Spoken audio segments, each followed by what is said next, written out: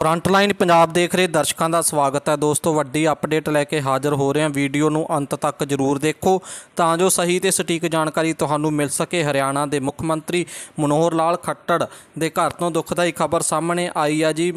ਮੌਤ ਹੋ ਜਾਣ ਕਾਰਨ ਸੋਗ ਦੀ ਲਹਿਰ ਫੈਲ ਗਈ ਹੈ। ਪ੍ਰਾਪਤ ਜਾਣਕਾਰੀ ਅਨੁਸਾਰ ਹਰਿਆਣਾ ਦੇ ਮੁੱਖ ਮੰਤਰੀ ਮਨੋਹਰ ਲਾਲ ਖੱਟੜ ਦੇ ਛੋਟੇ ਭਰਾ ਗੁਲਸ਼ਨ ਖੱਟੜ ਦਾ ਦੇਹਾਂਤ ਹੋਣ ਦੀ ਖਬਰ ਸਾਹਮਣੇ ਆਈ ਹੈ। ਮਨੋਹਰ ਲਾਲ ਖੱਟੜ ਪੰਜ ਭਰਾਵਾਂ ਵਿੱਚੋਂ ਸਭ ਤੋਂ ਵੱਡਿਆਂ ਤੇ ਗੁਲਸ਼ਨ ਪਿੰਡ ਵਿੱਚ ਰਹਿ ਕੇ ਖੇਤੀਬਾੜੀ ਦਾ ਕੰਮ ਕਰ ਰਹੇ ਸਨ, ਜੋ ਕੁਝ ਸਮੇਂ ਤੋਂ ਫੇਫੜਿਆਂ ਦੀ ਬਿਮਾਰੀ ਕਾਰਨ ਪੀੜਤ ਸਨ ਅਤੇ ਉਹਨਾਂ ਨੂੰ ਇਲਾਜ ਵਾਸਤੇ ਗੁਰੂਗ੍ਰਾਮ ਦੇ ਮੈਦਾਂਤਾ ਹਸਪਤਾਲ ਵਿੱਚ ਦਾਖਲ ਕਰਵਾਇਆ ਗਿਆ ਸੀ, ਜਿੱਥੇ ਉਹ ਇਲਾਜ ਅਧੀਨ ਸਨ।